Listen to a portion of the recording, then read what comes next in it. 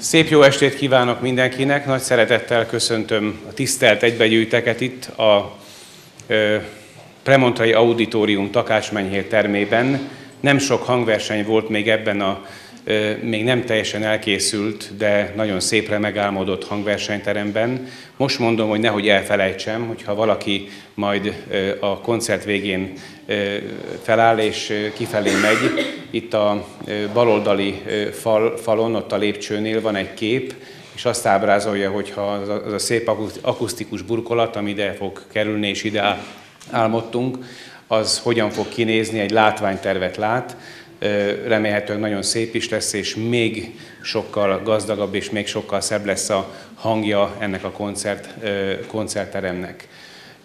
Nagyon nagy öröm az, hogy a premontrai perjességnek ez a új kifelé mutató hangversenyterme itt az egyetemi területen, a Fácánosban most vendégül tudja látni a Gödöllői Federik Chopin Zeneiskola hagyományos tavaszi tanári hangversenyét. Én magam különösen örülök ennek, hiszen 1979 és 85 között én is ennek a zeneiskolának a növendéke voltam, akármennyire is hihetetlen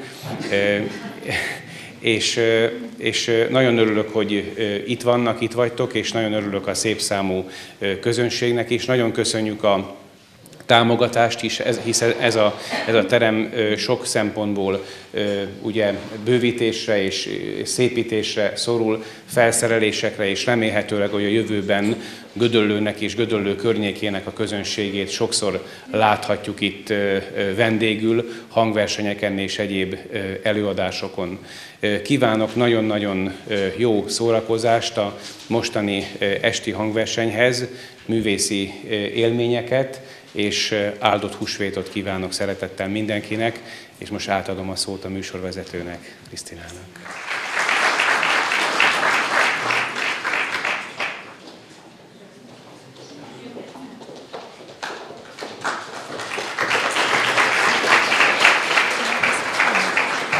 Jó estét kívánok, szeretettel köszöntöm én is Önöket a Frederik Chopin zenei alapfokú művészeti iskola tanárainak nevében.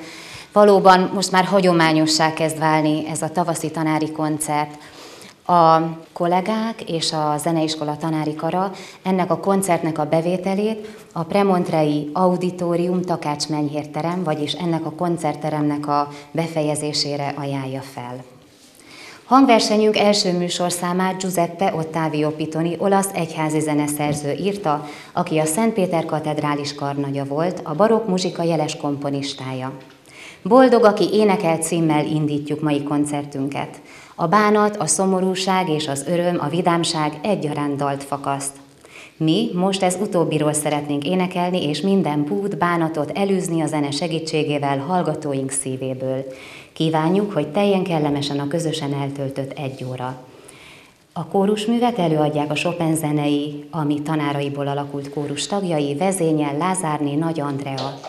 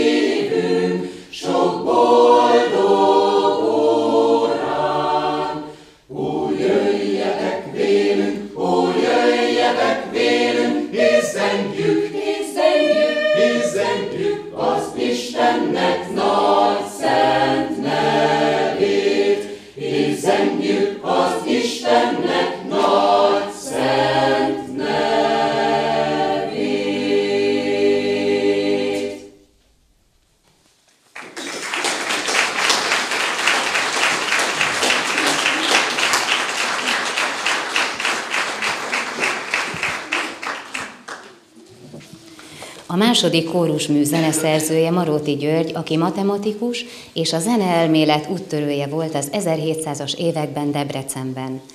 1739-ben svájci minták nyomán a több szólamú éneklést kívánta meghonosítani az Isten tiszteleteken.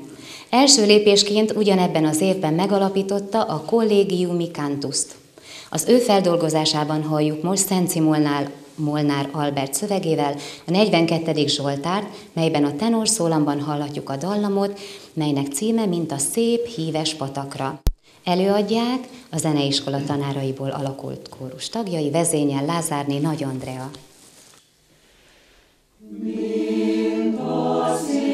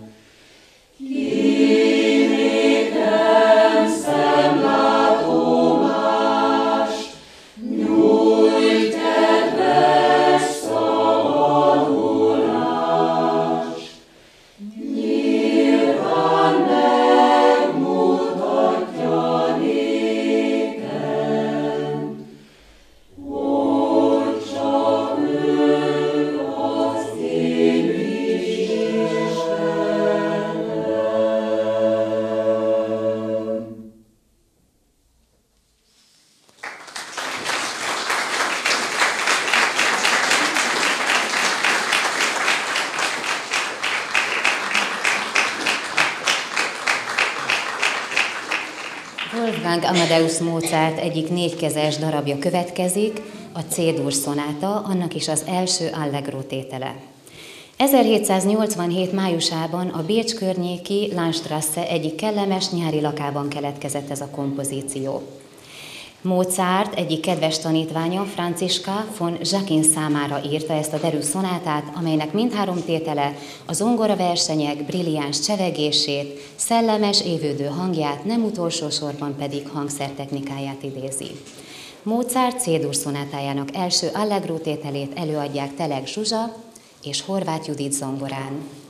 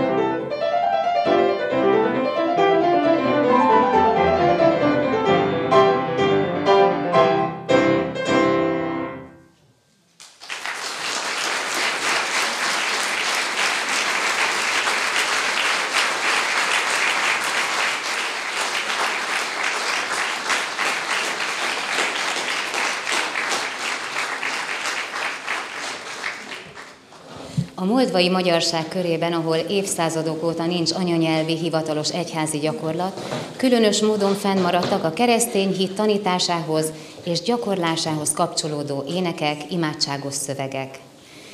Egyik ilyen ének az úgynevezett aranymiatyánk, melyben Krisztus a nagyhét kezdetén édesanyjának előre megjósolja a nagyhét napjainak fő eseményeit, majd mennybe menetele történetét.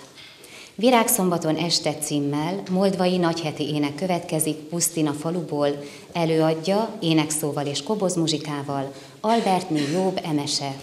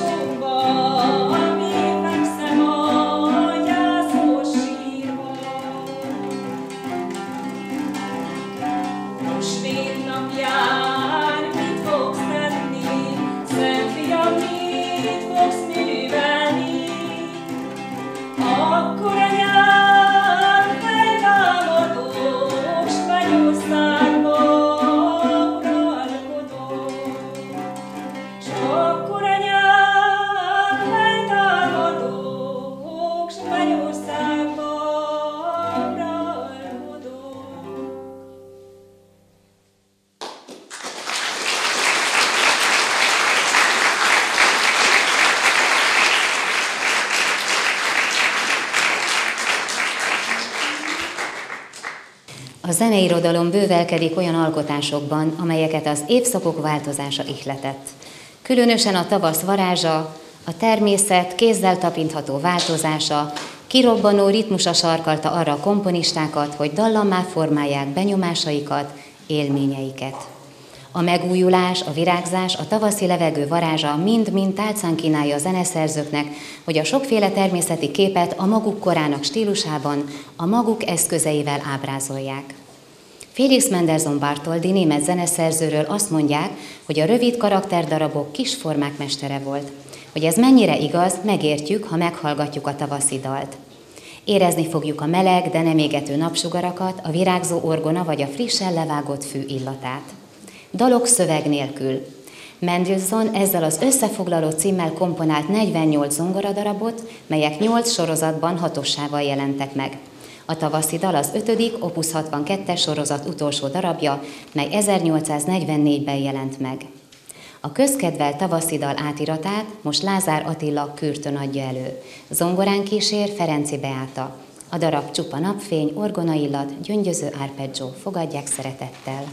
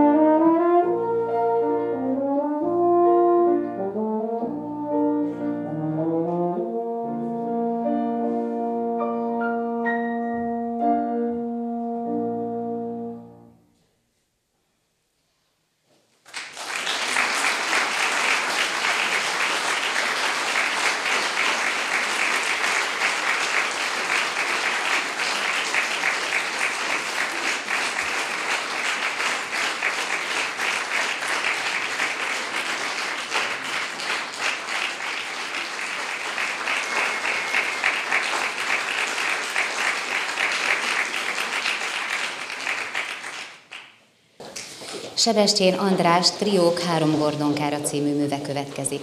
Sebestyén András karnagy és zeneszerző. Debrecenben született 1917-ben. Tanulmányait 1934 és 1940 között a Budapesti Liszt Ferenc Zeneművészeti Főiskola zeneszerzés és csellőszakán végezte. Művei zenekari, kamara, szólóhangszeres és kórusművek, színházi zenék, hangjátékok kísérő zenéi. Nyolc kis triójából most négyet fogunk hallani. Engedjék meg, hogy felsoroljam ezt a négy tételt. Cantabile, ez egy éneklő 6 dallam lesz. Basso ostinato, Keleties hangzású, a viszonylag ritkán használatos összhangzatos molban hangzik majd fel. Grációzó, ez egy kecses, táncos karakterű tétel. Piccikátó, amint a cím is sugalja, pengetve adják majd elő a fellépő tanárnók, tanárnők, Nagy Eszter, Tépataki Anikó és Zomborné Virág Eszter. Következik tehát Sebestyén András, triók három gordonkára.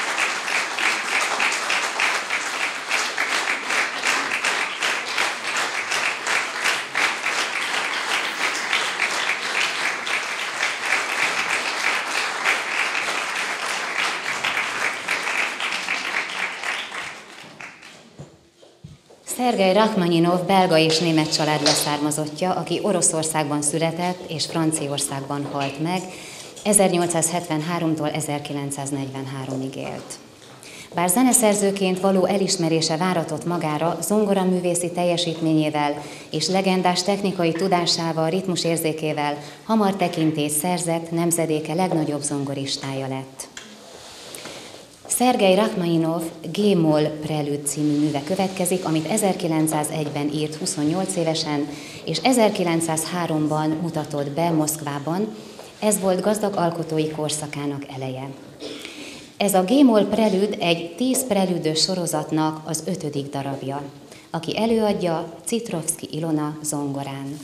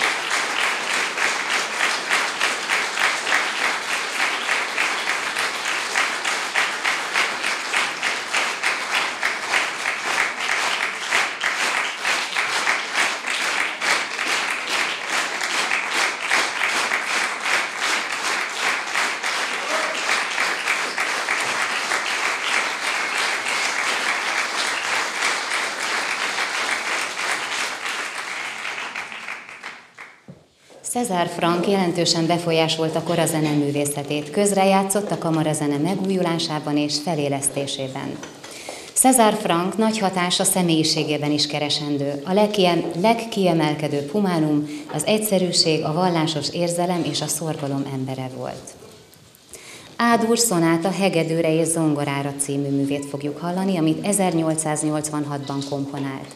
Most Juniki Spartacus hegedűn és Ferenci Beáta adja elő zongorán.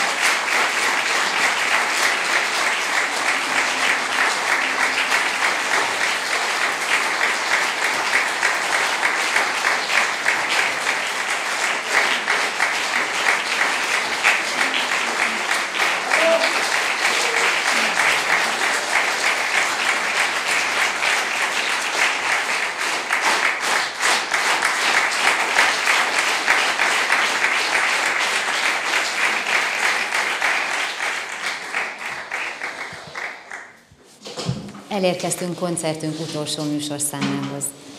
A most következő jazz standardet 1921-ben írta egy Al Jolson nevű amerikai szerző, azonban a dal akkor lett igazán ismert, amikor a 30-as évek közepén megalakult Benny Goodman Quartet műsorára tűzte. A szám címe Evelon, mely egy képzeletbeli város neve. Talán néhányunknak az Arthur király monda kapcsán ismerősen csenkhet, azonban, mint szinte minden jazznóta, úgy ez is természetesen a szerelemről szól. Mármint a szövege, ha az előadók elénekelnék. Saját elmondásuk szerint ezt szerencsére nem fogják megtenni, azonban azt megtudtam tőlük, hogy ugyanabban a formációban és hangszerelésben játsszák el a darabot, ahogyan az előbb említett Benny Goodman Quartet adta elő. Következik tehát klarinéton Fodor László, vibrafonon Szita Miklós, zongorán Bubenyák Zoltán és dobon Kovács Zsolt. Következik tehát az Evelon.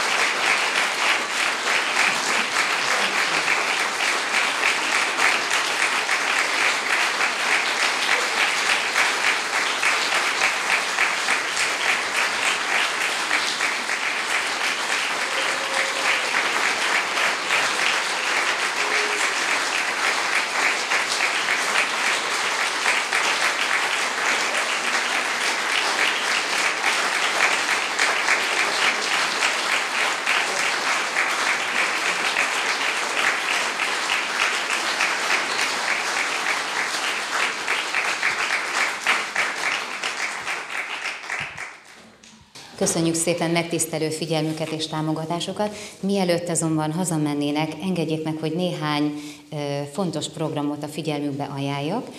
Szeretettel várjuk Önöket az Ifjú Tehetségeink koncertjén április 24-én 17 órakor a Művészetek Házában.